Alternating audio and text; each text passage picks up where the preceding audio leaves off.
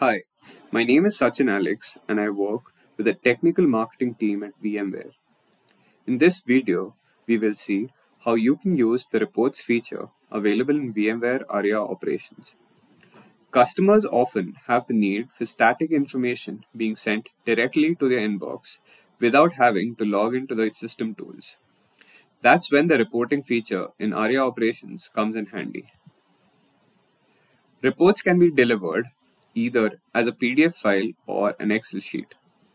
Custom cover sheets can be added as per the organization.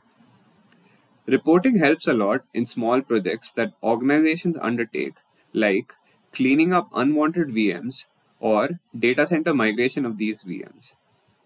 Customers can create their own reports or use the out of the box reports and more that are available through the management packs. When you log into VMware Aria operations, the reports option is available under the Visualize tab. A list of all the reports available, custom as well as out-of-the-box reports are displayed here. You can search reports by typing in their names. Here, in this case, we have searched for all the cost reports that are available. You can perform certain actions on a report, such as running it or scheduling it for some time in the future as well as editing it. When you want to make changes to an existing report, it is best to clone it first and then make changes to it because in case there is an upgrade, we tend to lose the changes made to the default reports. You can view all the generated reports either under this tab or under this column. When running or scheduling a report, you have to select the scope of the report you can either select a particular VM, a cluster, or the entire vSphere world. Reports can be scheduled to run daily, weekly, or monthly. In addition to being available for downloads within the UI, reports can also be sent via email and uploaded to an SMB share. Now, we shall run and schedule a report in VMware Aria operations. Keeping track of our costs is essential. Cluster costs are important as they give us details about the major spends in the environment and the exact rates of consuming the CPU and memory. When we type in costs, we see all the reports related to it.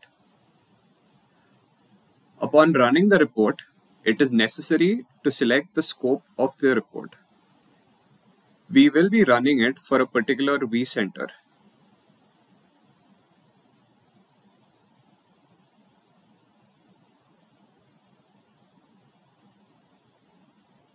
You will find the report in the Generated Reports tab. I'll be downloading the PDF version of the report.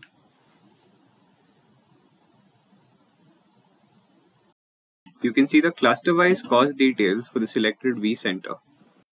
You can schedule the same report if you want the details more frequently without manually running it each time. Again, you need to select the scope of the report we will be selecting the same vCenter.